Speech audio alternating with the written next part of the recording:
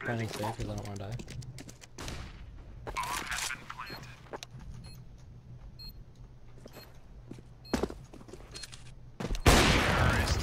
You're cheating, stop. I didn't see it.